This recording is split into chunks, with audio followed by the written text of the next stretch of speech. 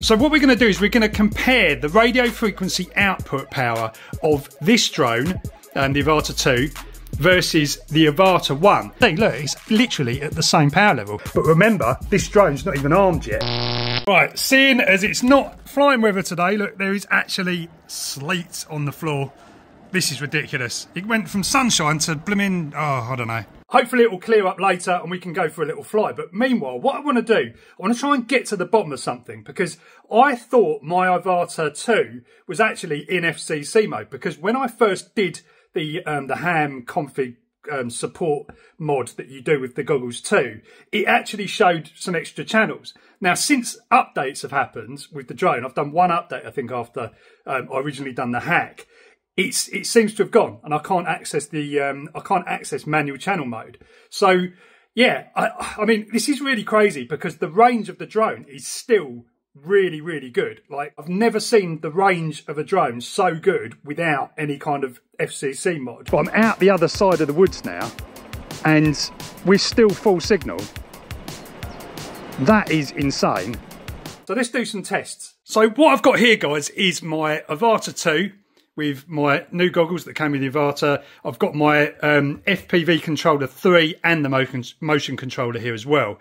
Um, I'll come back to that in a minute. And on the other side, I've got the original Avata 1 with some funky props on and some upgraded motors. And I've got the old um, version 2 remote FPV controller 2 and I've got the goggles 2 here as well. So yeah, loads of kit.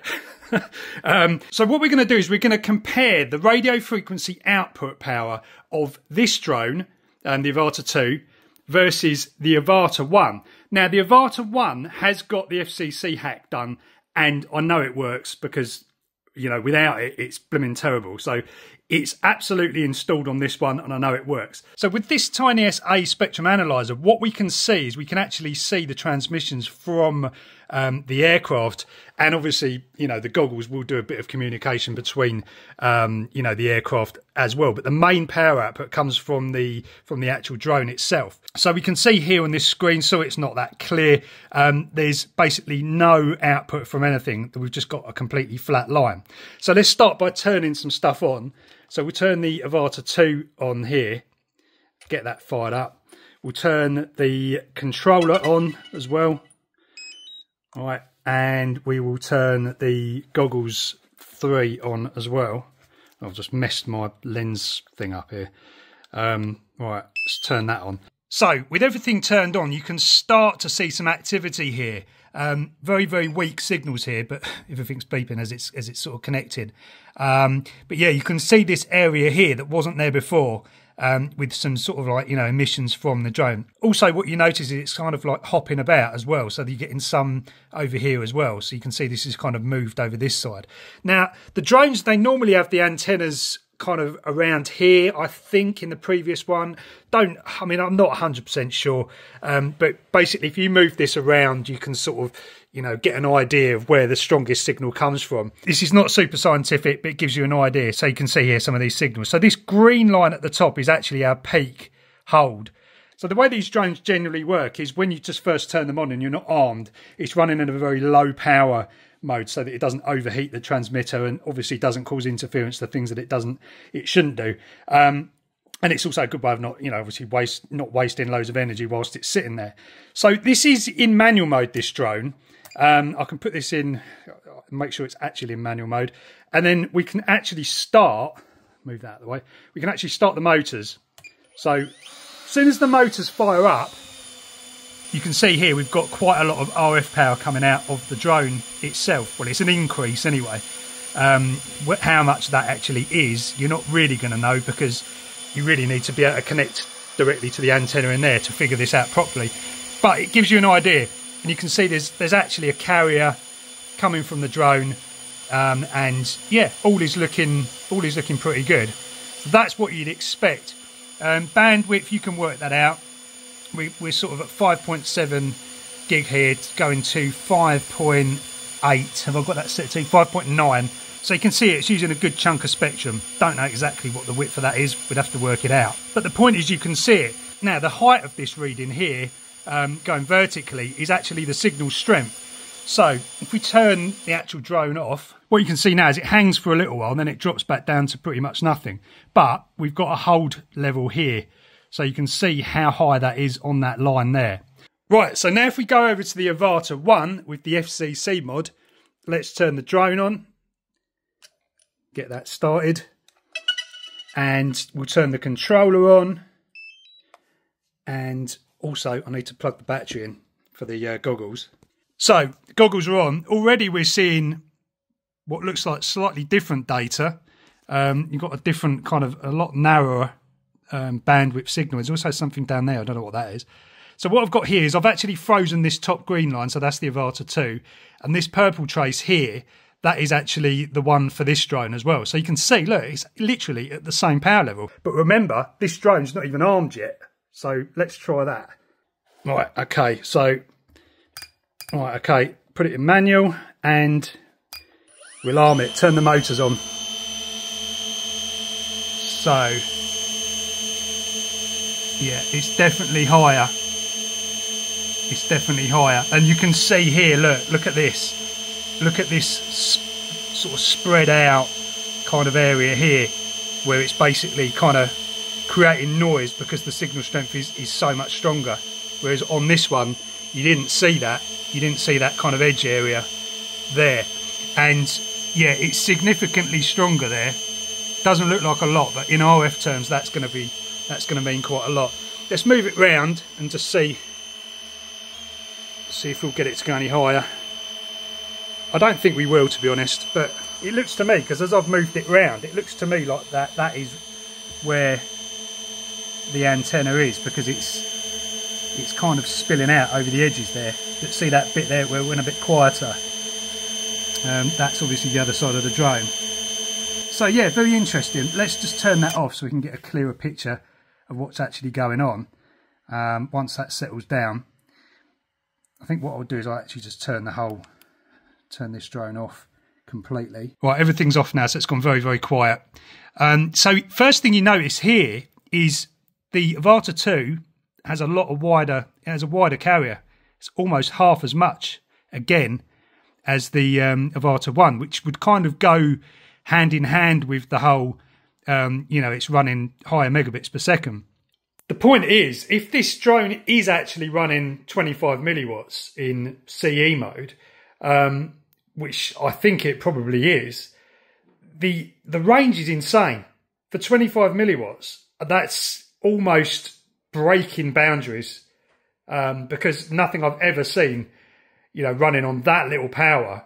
You're talking about kids' toy Wi-Fi drone power level, um, which we all know doesn't work. But yeah, that's that's pretty astounding stuff. If that's what you know, if that if it is running 25 milliwatts, the trouble is I haven't really got any way of testing. Um, you know, if this is 25 milliwatts. I mean, going by the regulations, it should be 25 milliwatts, but because if we had something that was definitely kicking out 25 milliwatts, then we could, you know, put that on here and you'd see where it is in relation to these two. So you, you kind of need a known source without actually kind of connecting up um, you know, the power of this power meter directly to this drone inside by taking it all apart and, you know, uh, physically connecting, a, make a connection between here and here so there's no loss. But if you look at the actual kind of difference here, you've got a difference between minus 30 and minus 20 dB, which is 10, a factor of 10. So just by holding this around the sort of outside of the antenna here, um, and comparing the two drones does give you a fairly good idea that obviously one is putting out a hell of a lot more power than the other one. Um, but that's about it, really. That's all it's really telling you. Um, but obviously, you can see, you know, the width for the bandwidth there is is higher. But the fact of the matter is, flying this out in the field in a real live environment, this has insane range compared to anything that I've flown that's 25 milliwatts before.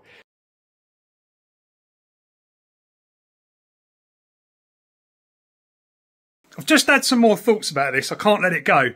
Um, the Avata 2 is actually dual band. So I'm wondering, does it flick from 5 gigahertz down to 2 gigahertz um, when it gets, you know, as, the, as it kind of goes out of range? Because um, obviously the penetration of 5 gig is a lot less than 2.4. 2.4 is a lower frequency, so you know it's less prone to sort of obstacles. Um, you know, sh- shielding the signal basically, but it's it's still a microwave frequency, so it's still pretty bad. Like it's um it's not as good as like say 800 megahertz or 400 megahertz like control links and stuff like that. Um, but yeah, I wonder if it's doing that, if it's actually going, um, you know, moving frequencies, and that's giving us the effect that it's it's got a better range than it probably has. It's using you know RF principles. So the other thing is as well on 2.4 gigahertz, the regulations you to run 100 milliwatts. Um, a lot of the Wi-Fi access points and stuff like that are running 100 milliwatts. So, you know, you are allowed to run that in those bands. So I'm wondering that's another thing because 100 milliwatts at 2.4 versus FCC, you know, somewhere around one watt or two watts on five gigahertz. There's not going to be as much of a gap between those two. Um, so let's find out, shall we? And what I'm going to do is I'm going to I'm going to set the drone up here. I'm going to record the spectrum analyzer on five gigahertz, um, monitoring between five and six. I'm going to go out and walk up the road with the goggles and my uh, controller, leave the drone here armed and running. Yeah, that's a bit risky, but I'm going to do that. Walk down the road and then record record the five gigahertz spectrum and then I'm going to do the same test again and record the 2.4. And from there, it'll be definitive. We'll really will be able to see if it's actually hopping from 5 gig to 2 gig. Let's do it. I've got them set up, so I'm going to walk down the road and I'm going to use these as well. So I'm going to talk so I can record on camera where I actually am. Um, and you'll see, obviously, a screenshot of this and also hear me talking on there. This is going to be fun, guys. One, two, three, four. Okay, so drone's armed and I'm just going to head out. We'll see, look, it's, it's already um, flipped channels, it's changed over channels. So I've got the goggles on my head and I'm just going to just to walk down the road. I'll obviously radio back to um, let you know what's actually going on. Right, so I'm just outside the front door. We've got full signal, full signal, so I'm going to carry on walking. Well, it went down briefly to 48 megabits, now it's back up to 60. I'm just at the end of uh, just at the end of the path, I don't know, probably 20, 30 metres away.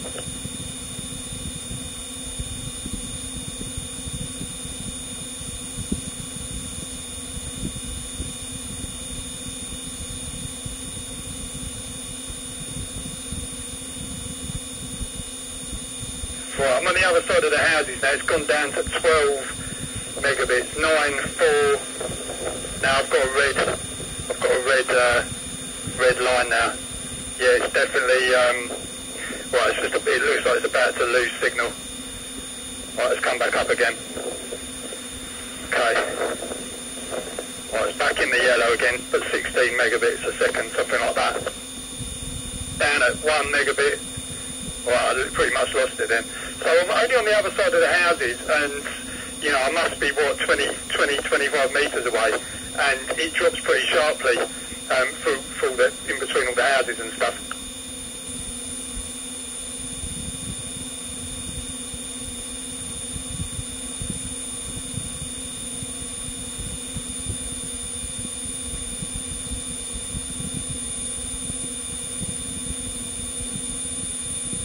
Right, I'm about 30, 30 metres away the other way. We're down to 2 megabits and yeah, it's pretty, it's pretty terrible. Um, so, yeah, the range doesn't seem crazy that way at all.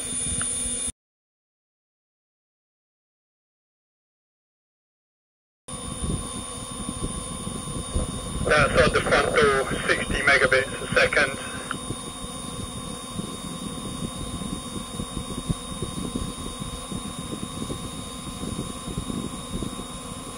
Just at the end of the road, probably about, I know, 10 metres away, it's gone down to 38 megabits per second.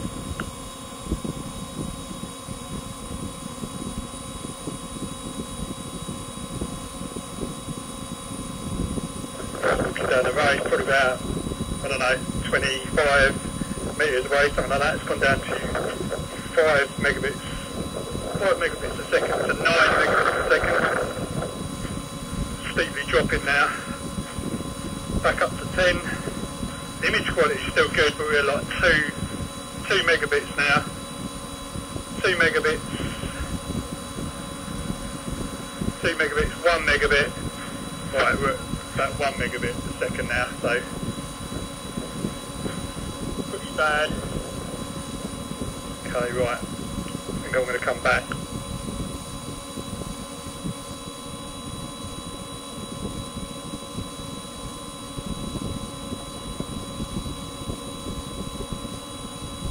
So, absolutely fascinating stuff. We could see that little signal on 2.4 come into play just as I kind of went out of range. I mean, it, falls off pretty dramatically. So the five gig um, frequency, I mean, I got to literally the end of my pathway, which is like, you know, 15 meters away. But we are indoors, the drone's on the floor, you know, we've got house, wall, brick walls to go through, all of that stuff. Um, so, you know, it, it went down pretty rapidly.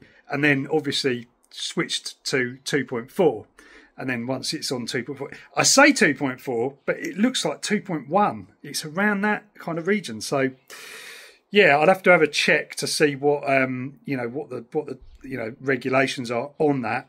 Right okay so one final little test because i want to make sure that it is definitely um, this drone that i'm seeing um, on 2.4 it, it definitely is. Look look at the signal strength here. But what's interesting so the controller and the goggles are now in my car um, about 10 15 meters away from here. And look so we've got lots of different things happening here. In the car I was reading about 30 megabits. So I, would say that you know that is because I don't know it's weird isn't it? But we can probably turn if we turn this drone off let me just see if it all just stops. And I think you'll find that it does. Yeah, basically everything's just stopped. So yeah, guys, it's doing some interesting stuff. okay, just before I go, I've just had a thought. I've just looked at DJI Avata specs up online and we can see here that there's actually three bands that this thing supports 2.4 5.1 and 5.8 now interestingly look if we look here at 5.8 in ce power mode that's basically 14 dBm, and that is 25 milliwatts. Now on 5.1, it steps up to 23 dBm, which I think is just over 100 milliwatts. No, I am mistaken. It's actually 200 milliwatts. So there's a 5.1 gig band that you're allowed to run 200 milliwatts on. I wasn't aware of that. This is definitely CE. Um, so I suppose we better test that then, because I did, wasn't actually covering that on the on the first test. So let's get the drone file up again. This time I've got from 5 gig to 6 gig, so make sure I don't miss anything. So we'll just leave that there. So just start the recording.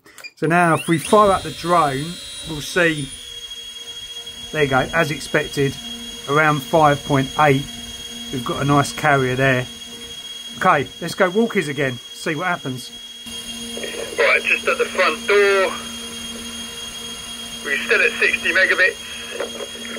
It's a bit higher now, the drone, because it's up in the it's up in the window, so we'll have to see see what happens. Probably get get further. Right, down to 23 megabits. 8 megabits, 11 megabits. See if I can lose the signal.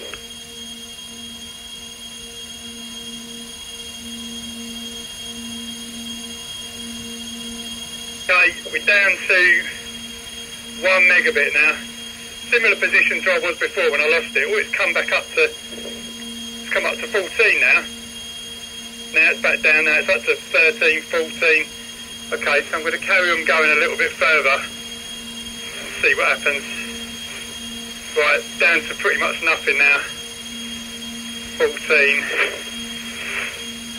Bobby, it's holding up, I tell you. Right, we need to just lose this completely.